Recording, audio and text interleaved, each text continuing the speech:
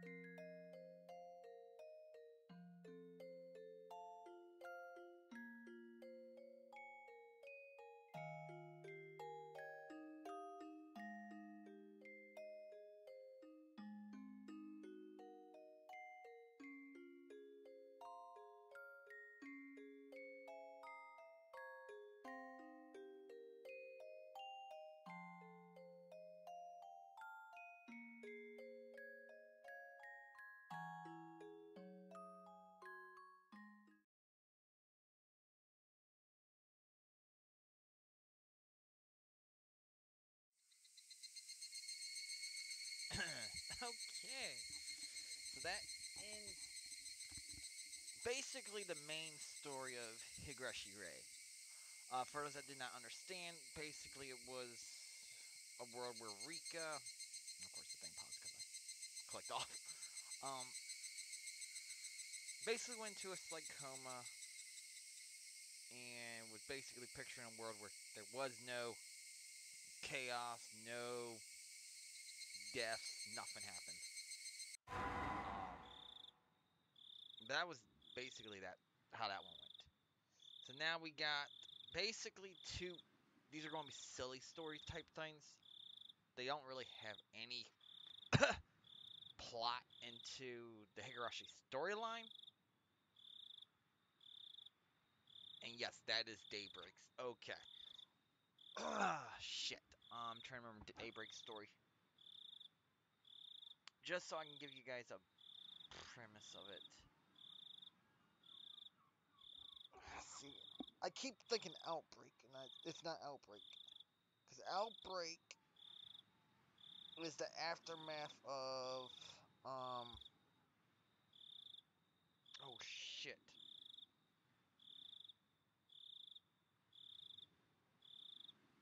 Shit, which one was the one when Keiichi went over the bridge? Shit.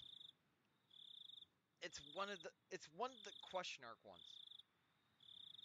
Where Keiichi what I think it was Keiichi and Sakato. Both were going across the bridge. Shit. Cause it's when it's when the whole town died in that one.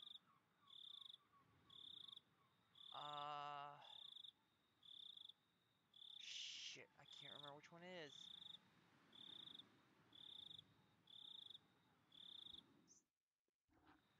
It's not Outbreak, I know that one. Shit.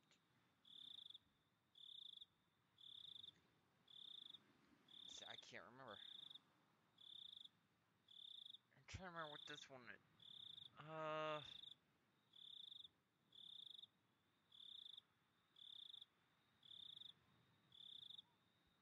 shit. See, I can't. I know. I remember, I want to say I know what this one is. I can't remember what that one is. I Need you to stop flashing at me. But we're going to start with this one because it is.